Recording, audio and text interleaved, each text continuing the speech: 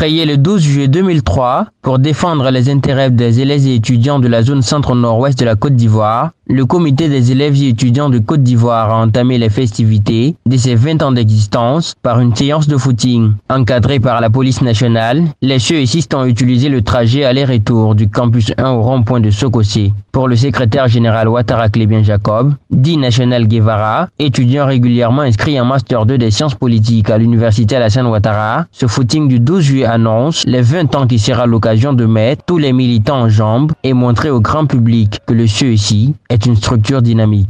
Ce soir, si vous l'avez remarqué, nous venons de faire un footing géant. Footing géant, déjà, c'est pour annoncer les 20 ans. C'est pour dire aux uns aux autres que nous sommes déjà dans les 20 ans. Et ces 20 ans, c'est pour mettre tous nos militants en chambre. Montrer aux uns aux autres que le CESI est une structure aussi dynamique.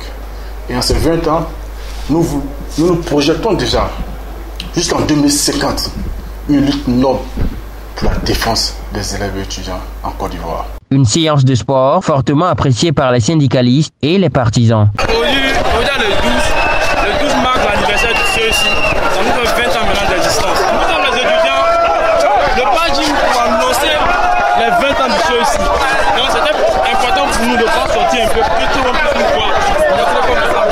20 ans, c'est pas 20 jours, c'est si fort. C'est si 20 ans, c'est rien.